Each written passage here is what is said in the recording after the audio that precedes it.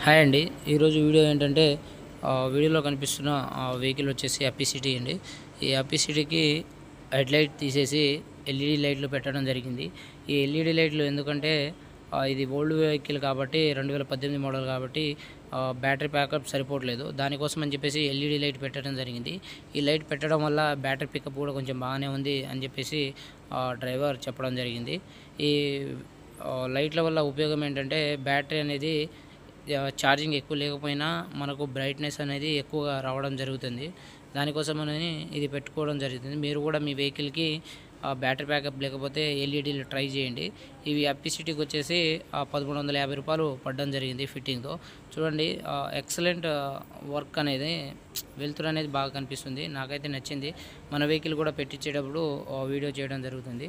ఓకేనా? మీరు కూడా ట్రై చేయండి. పదమూడు వందల యాభై అంటే అప్పిసిటీకి. నార్మల్ వెహికల్స్కి అయితే కంపార్ట్ వెహికల్కి అయితే ఏడు వందల యాభైకు అయిపోతుందంట.